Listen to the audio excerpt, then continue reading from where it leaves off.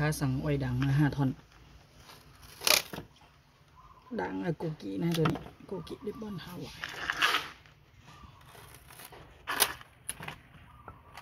ทำสองนะ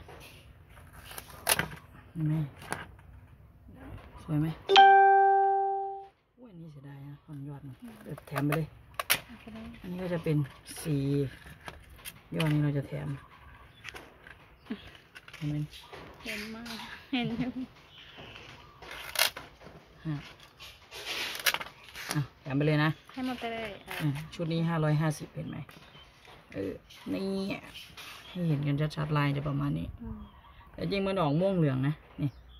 อันเนี้ยนี่ขาดขาดออกขาดขาดออกนิดนึง มันก็เขียวเขียวก็ได้เอาอืมเป็นเขียวเป็นเหลืองถ้าจะแก่มันจะเป็นเหลืองนะ ใช่นี่แฟบขาดอีกนิดนึง ตีหัวหมาตายได้เลยต้นอ้อยประโยชน์ก็คือเอาไว้ตีหัวหมานี่ดีแบบนี้สวยโอเคเสร็จแล้ว